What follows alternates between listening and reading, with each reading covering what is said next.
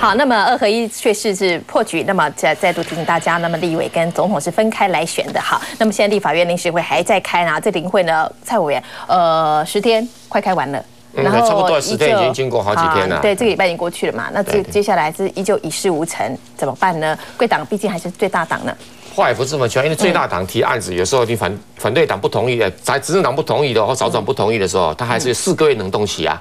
所以一定要党团要多签字，要这很很顺利哈。嗯。不过刚才有很多的观众朋友哦，对马英九有很多的指教。啊，对马英九的 long stay 批评很多啊。其实我心里是替马英九怀疑，为什么？表示他的 long stay 这个东西很成功，吸引大家的焦点。嗯。那支持民进党的人非常激烈的批判，甚至还什么呸啊，什么难听的话都讲出来了，表示他有他的竞选的力道已经出现了。所以马英九这一次绝对是比上次骑单车还成功。其中那看这都不那么差别的哈。啊，不相对的哈，对，这是我承认他这非常成功哈。嗯。那相对的啦，这谢长廷他最近搞了什么爱与信任之旅哈？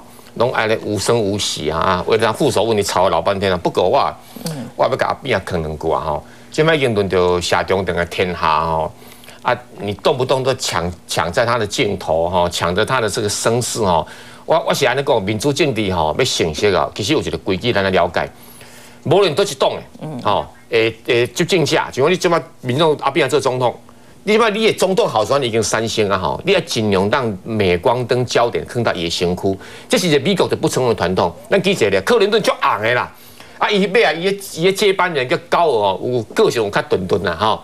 但是克林顿在很多场合里面哦，都刻意的让高尔去发光发亮，唔是抢在讨钱，你知道不？我感觉吼，这是一个风格问题，没有什么权力问题啦。啊，那么谢长廷这段时间呢，爱心啊，无人插伊啊，唔知唔知为得去啊，那么写来写去啊，呃，没有什么焦点哈。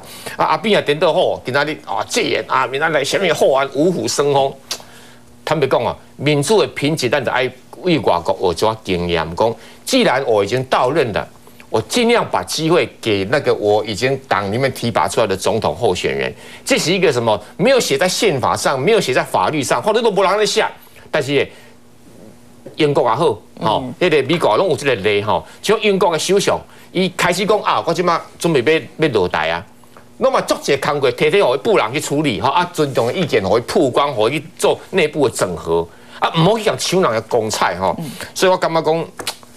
哎，阿边一样拍戏哈，来。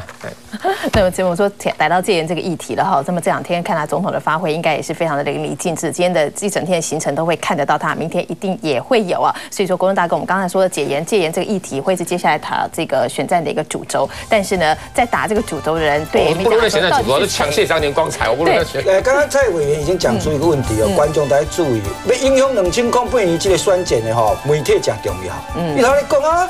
夏中天个什么爱伊信任无，那媒体都唔该写，哪有法度？所以媒体，无拢阿扁啊笑起啊！媒体会影响说这两个候选人对我讲的话，来注意这项物件哦。对，然后呢，当然每个环节啦，你每个环节都要。那么想要是在自己候选在媒体的